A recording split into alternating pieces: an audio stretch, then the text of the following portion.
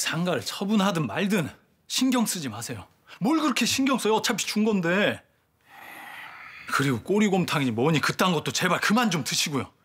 생전 운동도 안 하면서 아 기름진 것만 드시니까 혈압이 좋을 리가 있어요? 이게 이 자식 지가 애비 혈압 올린 건 생각 안 하고 예, 제가 불효자입니다. 예, 맞아요. 애비 언제 어떻게 될지 몰라. 아버지, 애비 인생 초라하지 않으려면 네가 남 보란 듯이 잘 살아야 돼 임마. 보라 그 불쌍한 거 잘 좀 챙겨주고 아 엄살 좀 그만 부리세요. 아직 짱짱하시구만. 사람 일 어떻게 알아? 왜요? 뭐 나 없을 때 의사가 시한부 선고라도 내렸어요? 나가 피곤해. 들어오셨어요.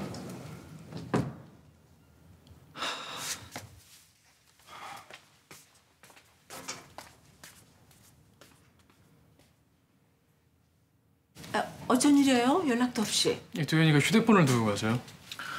쇼핑 하셨나 봐요? 좀 살 게 있어서. 아버지가 좀 몸이 안 좋으세요? 어디가? 혈압 높은 거 아시잖아요. 무슨 일로 스트레스를 받았는지 뒷목이 뻣뻣하다고 하시는데 신경 좀 써주시죠. 알았어.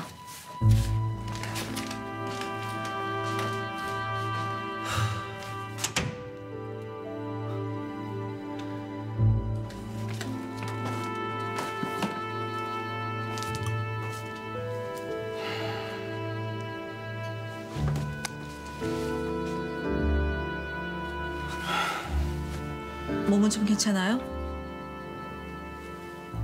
날 생각해서 떠나겠다고.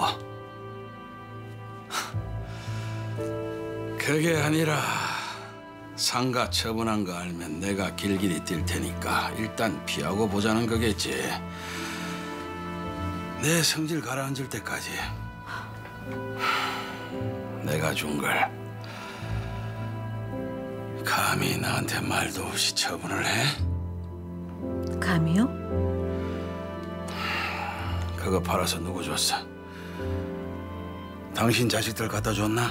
마음대로 생각하세요. 뭐야? 그렇게 결론을 냈는데 내가 변명을 한들 무슨 소용이 있겠어요? 어딜 도망가? 내가 왜 도망을 가요? 뭐가 무서워서?